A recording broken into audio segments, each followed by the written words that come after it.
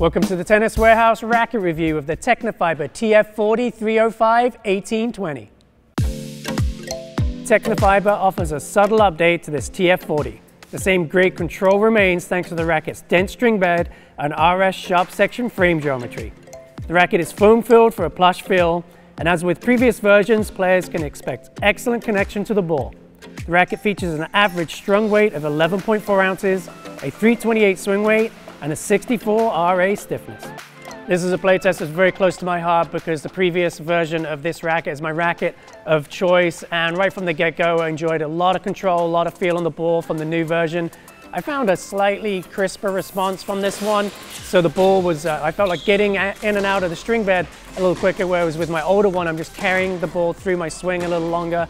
Um, and I'm not sure if that's due mostly from updates from Tecnifibre or just the fact that my rackets have a lot of fatigue on, have they been on the stringing machine and out on the court for many, many times. So uh, slight difference in playability from old versus new for me, but still ton of control and feel. I was able to work my angles really well, get the ball dialed into my targets, up at net, great feel again, super connected to where my shots were going.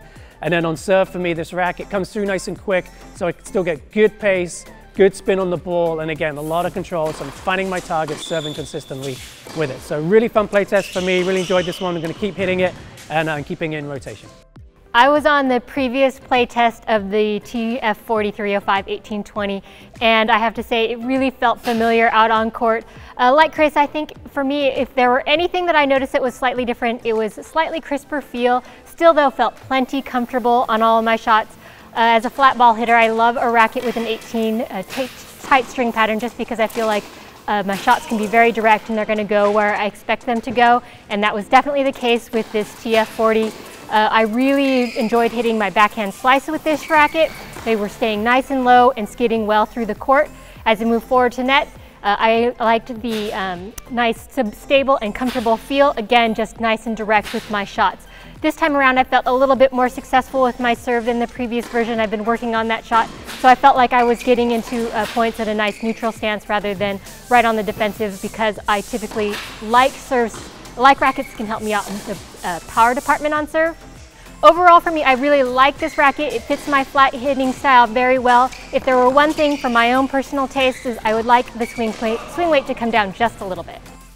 Here today to talk about the new update to Tecnifibre's TF40 305, still with the 18 main. If you're looking for a virtually seamless transition from the prior model, which I'm very familiar with as well, you're gonna get that. On the other hand, if you're looking for maybe a little more crisper feel, a little extra put away power, not like a wild energy return of a pure drive lay up a graphite, but you're gonna get it with this racket. So along with the mass-based power and the pinpoint precision of an 1820 uh, string pattern, this is a very predictable and obedient racket. I've been taken to the woodshed many, many times by Chris here, so I had to get a better idea of what this racket's really gonna offer a player. Definitely, i am a counter puncher. If you're an all court aggressive player or you wanna modify this racket, this stick is definitely gonna be a great one for you. Lastly, I most enjoyed this racket with an edgy string. Everyone knows I've got a pretty loopy swing path on my forehand wing, so I'll occasionally uh, have shot depth issues. And as soon as I have an edgy string and an 18 main racket like this one, that cures the whole thing. So I was really able to control the ball, shape my shots with enough arc. And again, like everyone else mentioned, the backhand slice was just dialed in nicely. Great play test overall. First time I hit with this racket was halfway through a hitting session uh, and the transition was seamless. Uh, despite it being a little lighter than I typically prefer and having a closed pattern, uh, after just a few minutes I felt like I could really keep the ball low over the net um, and hit smaller targets than I typically aim for. Um, so this racket for me was all about confidence. Um, so when I play a confident game uh, and I can stay aggressive, uh, that's when I'm playing my best tennis. And with this racket, it allowed me to, the control, the feel, and the comfort uh, to do that on a consistent basis. Um, up at net, same thing. Um, volleys, I really felt confident in placement as well as just sticking a volley and trying to put it deep in the court and put the shot away.